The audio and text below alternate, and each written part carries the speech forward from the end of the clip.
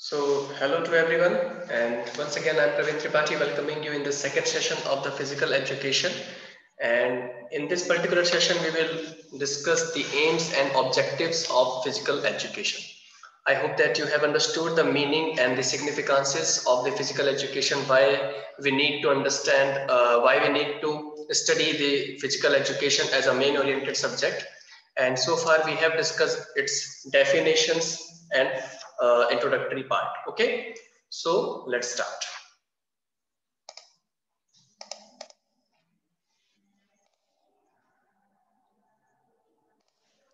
So there are uh, some another definitions given by the Charles A. Butcher has defined physical education as an integral part of total educational process is a field of endeavor which has its aim.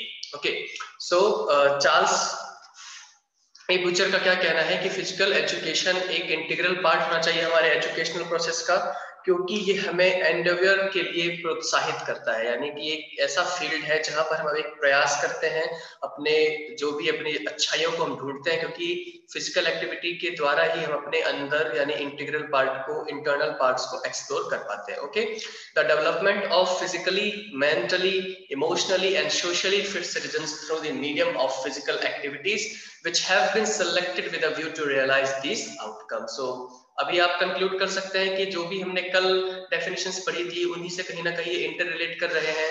Charles A future भी, ठीक है? देखिए students ये जो भी definitions हैं, ये आपको कहीं ना कहीं सेम ही लगेगी, ठीक है?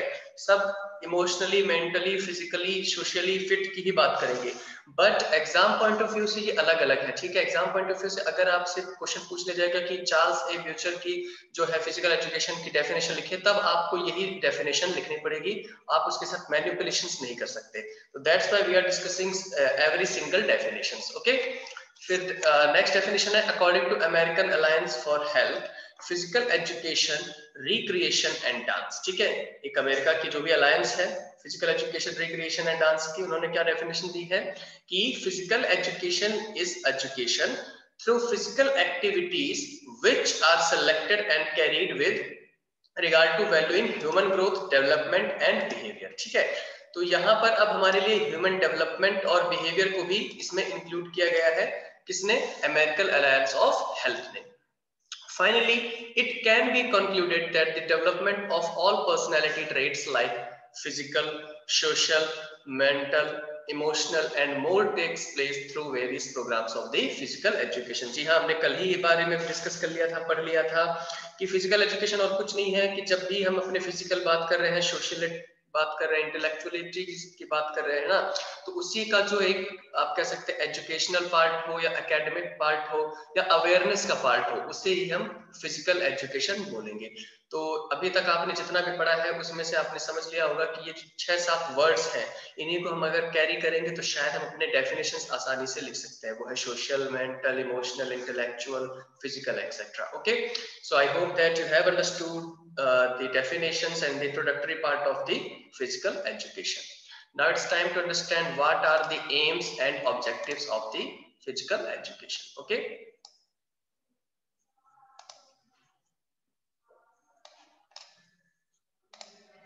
So, if you are doing physical exercises or playing any game regularly, you must have realized their importance. The aim of physical education is to target the total development of human personality. ठीक है ये तो हमने कल भी बात की थी कि फ़िज़िकल एजुकेशन का मेन टारगेट क्या है? कि जो हमारी ह्यूमन पर्सनैलिटी है उसको ग्रूम करे उसको एनहांस करे ठीक है? क्योंकि आज हम सभी अच्छा दिखना चाहते हैं स्मार्ट वेल बींग लुकिंग ठीक है? इमोशनली फिट रहना चाहते हैं तो यही तो है मेन ऑब्जेक्टिव uh, या फिर हम एम कह सकते हैं फ़िज़िकल एजुकेशन का ठीक है? In physical education, the final aim is to make every human being physically, mentally, and emotionally fit, and also to provide each kind of opportunity to them.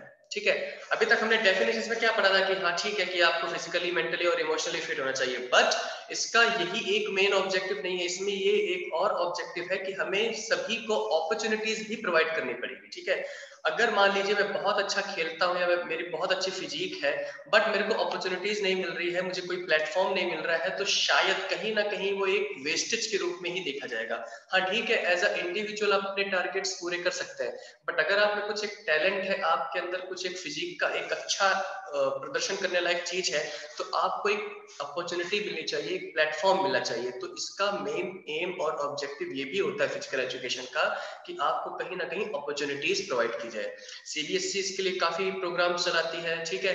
फिर आपके जैसे स्कूल लेवल के competition होते हैं तो ये कॉम्पिटिशन का motive यही होता है कि देखें कि हिडन जो भी टैलेंटेड है, जो बच्चे हैं, वो कई बच्चे होते हैं, वो पढ़ाई में अच्छे नहीं हो पाते हैं, ठीक है? या कई बच्चे ऐसे होते हैं जो फ़िज़िकल ज़्यादा अच्छा करते हैं, ठीक है? तो उसमें भी वो ग्रूम कर सकते हैं। ऐसा है नहीं कि हम केवल पढ़ के ही सक्सेसफुल हो सकते हैं, ठीक है? तो यही कहीं ना कहीं चीज़ें हैं कि आपको अपॉर्चुनिटी या प्लेटफॉर्म प्रोवाइड होना ही चाहिए, ठीक है?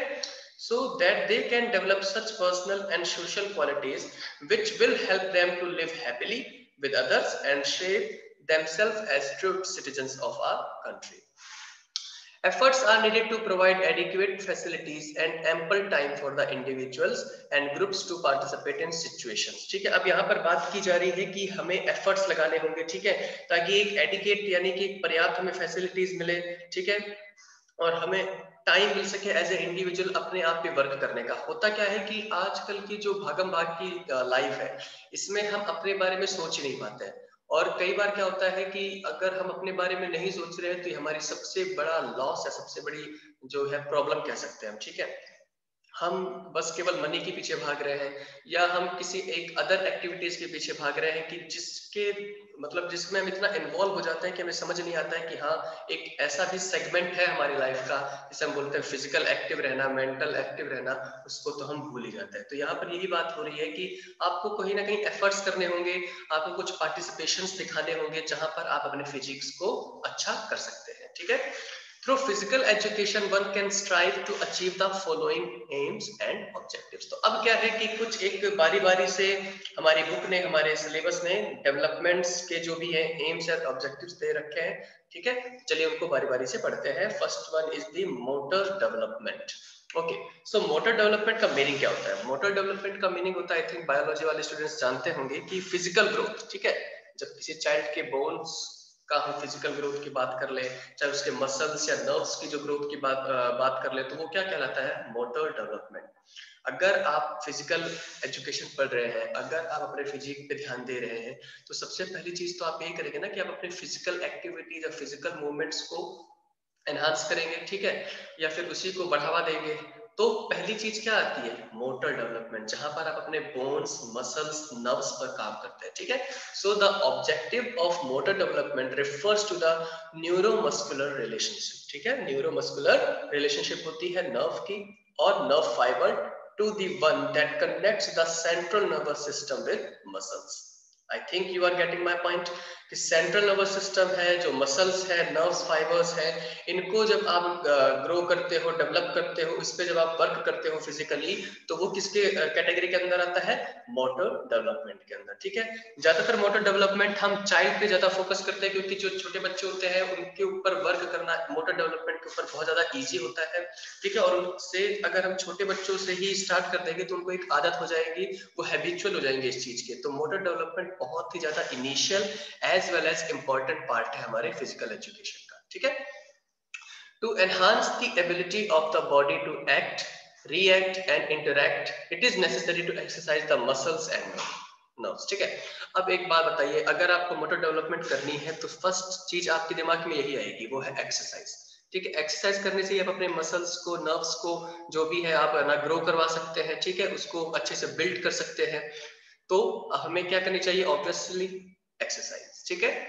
In other words physical development of a person is the foremost objective of physical education ये तो मैं आपको बार बार बोल ही रहा हूँ कि फ़िज़िकल डेवलपमेंट अगर किसी एक पर्सन ने कर लिया तो वही एक फोर मोशन सबसे बड़ी चीज़ वही है उसकी फ़िज़िकल एजुकेशन का, ठीक है?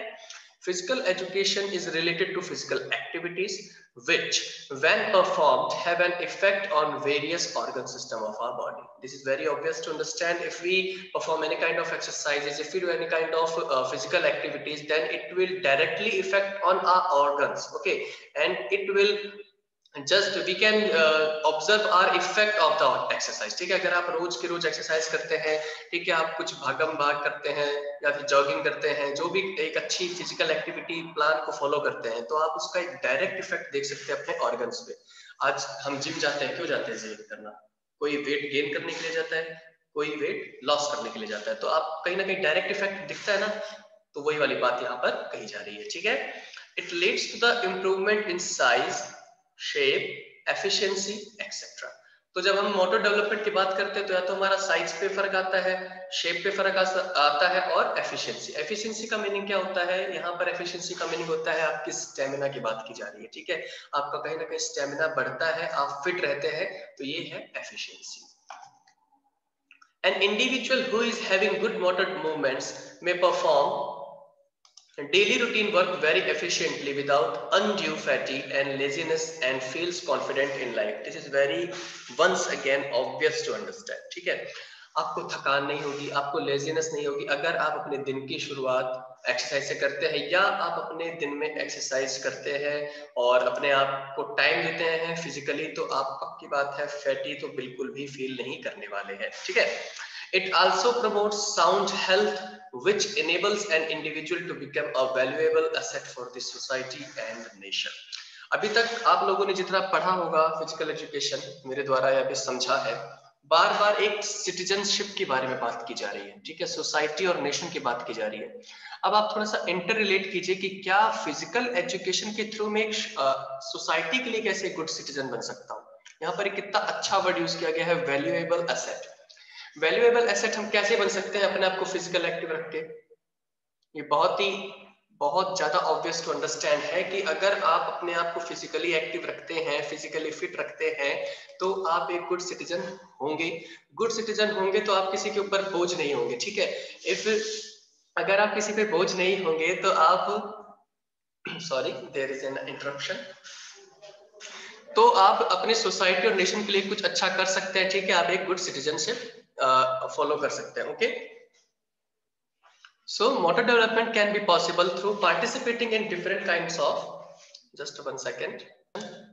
ठीक है तो motor development can be possible through participating in different kinds of physical activity programmes like games sports yoga dance and etcetera okay so these things also come under the category of the physical education now after discussing the motor development we will jump to the mental development okay तो अभी हमने बात की motor development में हमने एक चीज़ की बात की कि हाँ फिजिकली एक्सरसाइज करना है जॉगिंग कर लो या फिर कोई भी एक ऐसी चीज़ कर लो जहाँ पर आपके नर्व्स यानी कि न्यूरोमस्कुलर रिलेशनशिप सही हो जाए ठीक है? लेकिन अब हम बात करेंगे मेंटल डेवलपमेंट की। मुझे ये टॉपिक बहुत अच्छा लगता है क्योंकि यही एक ऐसी चीज़ है जो आज के आ, मतलब एरा में सबसे ज़्यादा मिस किया जा रहा है ठीक है?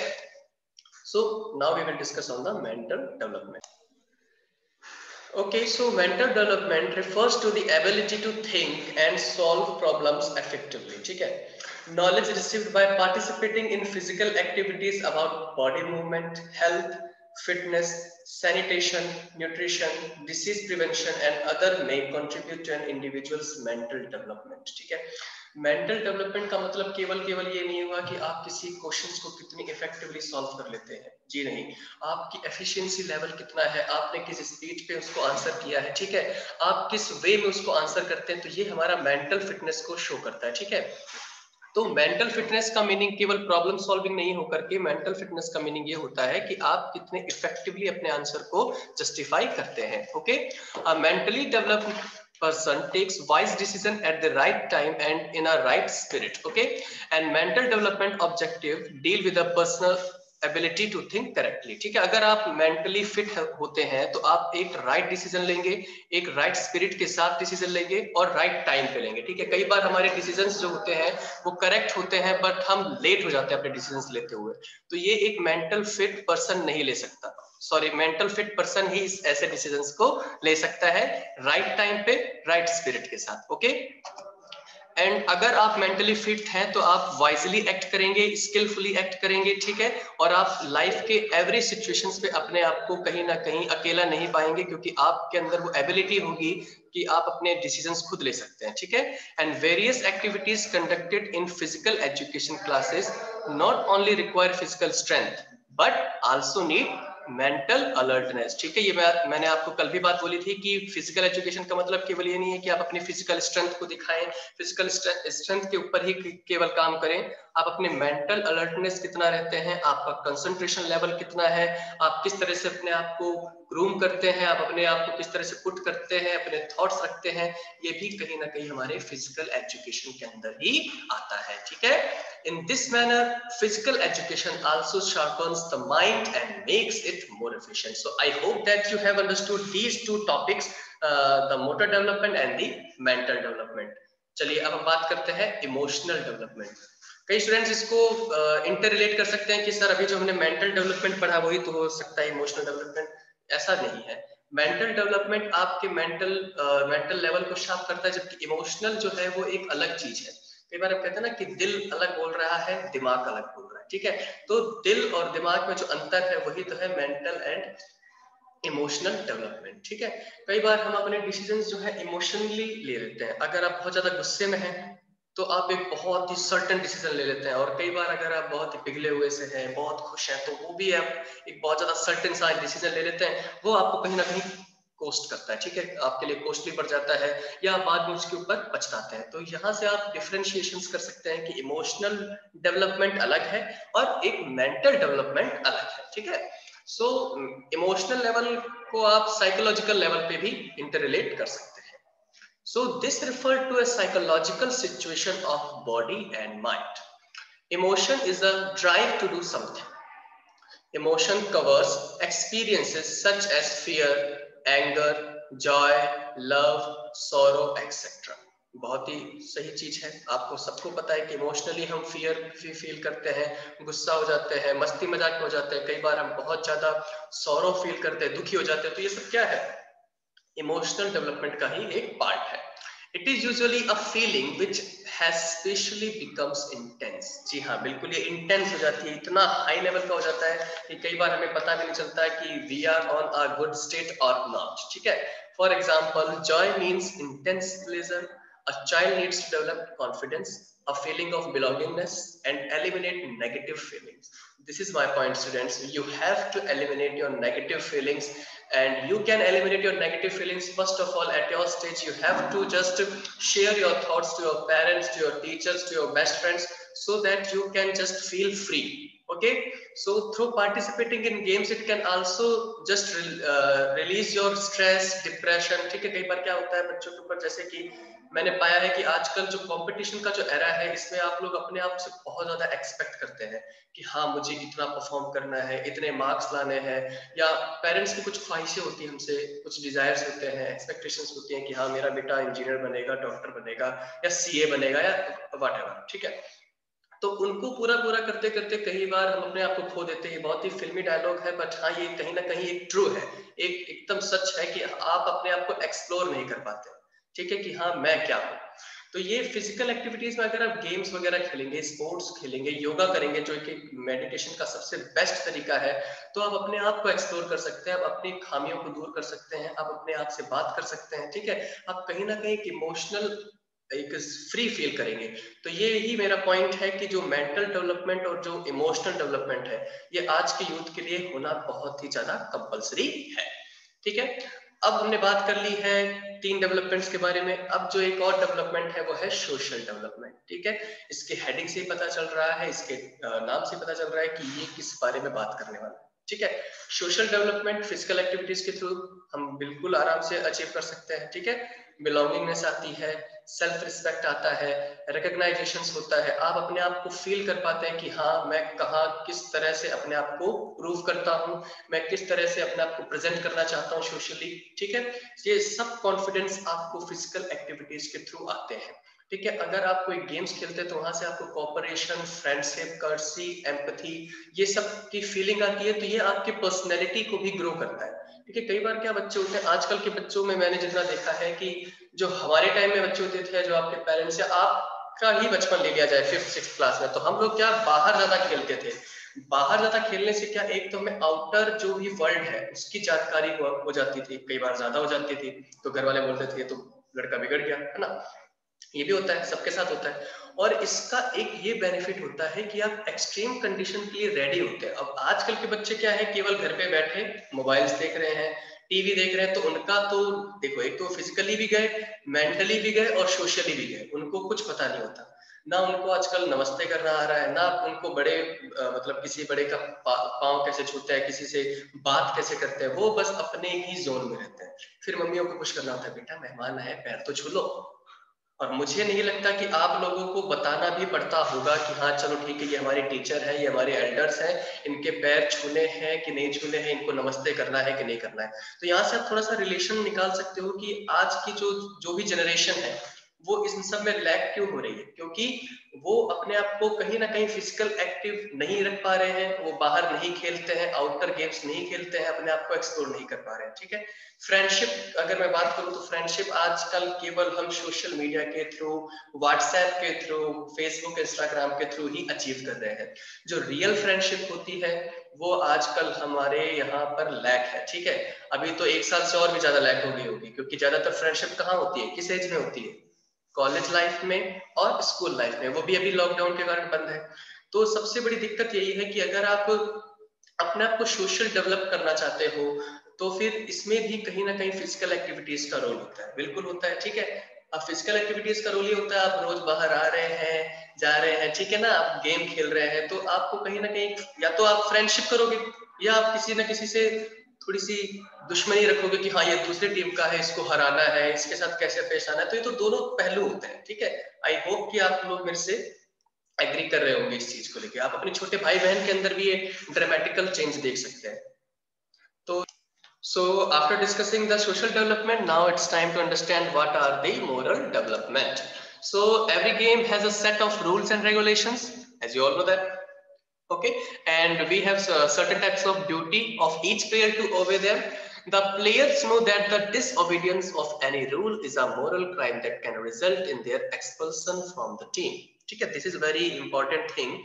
और आप सभी को पता है कि अगर आप कोई गेम खेल रहे हैं तो आप सभी को एक रूल्स रेगुलेशन फॉलो करने पड़ते हैं। ठीक है?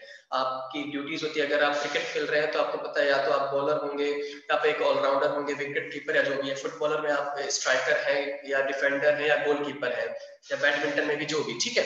तो आप सभी को अपना एक जॉब रोल पता होता है, एक प्लेयर का रोल पता होता है। लेकिन अगर हम बात करें फिक्सिंग की जो आप सभी को पता है कि क्या होता है ठीक है?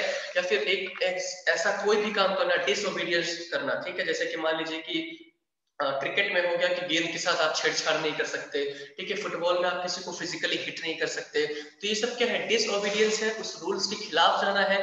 तो आपको पता है कि अगर मैं इस रूल के खिलाफ गया तो कहीं ना कहीं वो एक क्राइम कंसिडर किया जाएगा। बिल्कुल क्राइम कंसिडर किया जाता है। फुटबॉल की बात करें तो उसमें रेड कार्ड दिखा दिया जाएगा। अगर आप क्रिकेट की बात करें तो आपके ऊपर दो तीन मैचेस का बैन लगा दिया जाएगा। Same for volleyball and basketball है ना? रेड कार्ड दिखा दिया जाता है। तो ये क्राइम की तरह ट्रीट किया जाता है। तो बात यहाँ पर आ रही है कि आपका मॉरल डेवलपमेंट भी यहाँ से शुरू होता है, ठीक है? अगर आप गेम खेल रहे हैं तो आप कहीं ना कहीं मॉरली अपने आप को स्ट्रॉन्ग फील करते हैं। आप रूल्स कम ब्रेक करते हैं, क्योंकि खिलाड़ी जो होता है, उसके अंदर स्पोर्टमैनशिप होती है और वो कभी भी बहुत ज़्यादा रूल्स ब्रेक नहीं करता है। अगर वो रूल्स ब्रेक करता है तो वो कभी भी एक आइडल स्पोर्टमैन नहीं बन पाता स्पोर्ट पर्सन नहीं बन पाता। तो यहाँ से आप देख सकते हैं कि एक बात हो रही थी फ़िज़िकल एजुकेशन की, बात हो रही थी फ़िज़िकल एक्टिविटीज़ की बट ये हमारे लाइफ के हर एस्पेक्ट को इफ़ेक्ट कर रहा है, ठीक है? So I hope that you have understood this thing Uh, therefore, obedience of these rules becomes the moral duty of each player. Okay, and the participation in games helps in moral development and equips them to differentiate between right and wrong with honesty ठीक है honesty जो है ये एक बहुत ही बड़ी हमारे अंदर क्वालिटी आ जाती है अगर हम किसी गेम में इन्वॉल्व है और एक हमारे अंदर एक स्पोर्टमैनशिप है ठीक है and hence physical education also plays an important role in the moral development of a person ठीक है ये तो हमने पहले ही समझा है ये हम जानते हैं कि moral development भी करवाता है कौन physical education so uh, this is how we have completed our aims and objectives of the physical education